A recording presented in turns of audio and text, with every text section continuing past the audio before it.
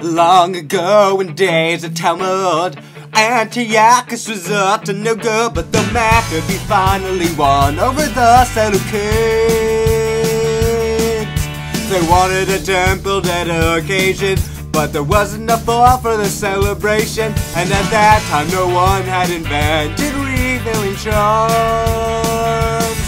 Hanukkah, just some oil and candles and a mouthful of Yiddish. Hanukkah, it is so fun I rank it right up there with Quidditch. Everyone does Christmas, but if you don't do Christmas, why not try Hanukkah? So now cast Lumos or Incendio and put the menorah up in your window. Unless you're Hasidic or live near some Zoroastrians. So eat your cheese and drink your milk Unless you're fearing beheaded by Judas Ilk In general, just stay away from girls who know Sectum Sempra.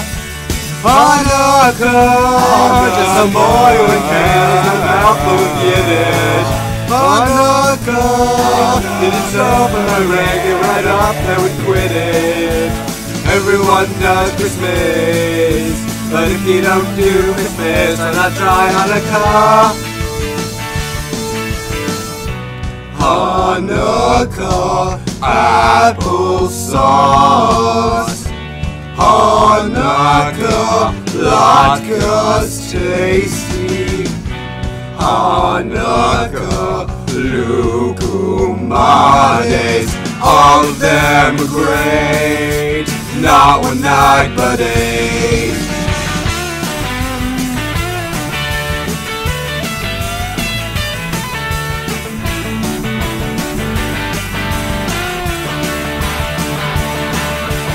Sorry I said Hanukkah's lame.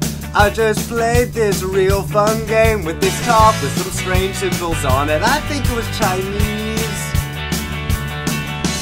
I was a doubter and a bit mean Till I had to talk with that Anthony Goldstein Did you know you're supposed to eat deep fried jelly filled donuts? Oh, Hanukkah, just some oil and candles and a mouthful of Yiddish. Hanukkah, it is open, I rank it right up there with Quidditch. Everyone does Christmas, but if you don't do Christmas, why not try Hanukkah?